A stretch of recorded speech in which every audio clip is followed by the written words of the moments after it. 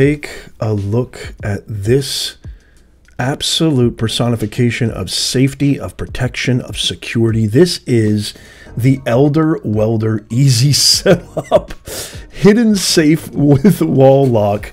And I just wanted to show you kind of, it's in the package still, what it kind of looks like um, if it would be, you know, in your wall. But look at how cool this is. It's intended to look like a wall outlet and inside you have your keys and there is your lock. And this thing is sturdy. It is made of amazing craftsmanship and quality. They come it comes with amazing instructions easy to use made in the US of A discreet packaging um, and I love the fact that they uh, really show you a two minute install video. All you got to do is just scan that QR code. But I'm here to tell you, I can't wait to install this.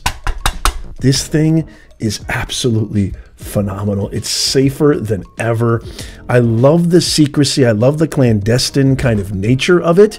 I love the fact that I can really put some awesome, you know, valuables. I don't have to worry. You know, smash and grabs in California are going up. Crime is going up where I live. Uh, I, am not sure if that's emblematic of the rest of the country, but it seems like it is.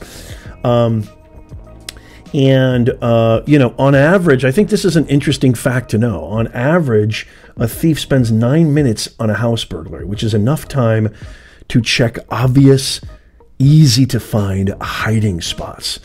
So that's why you're better having something that's not so visible because they're in a rush. They're just going to go for the things that are easy in the on the surface. They're they're unveiled. There's no real kind of search involved.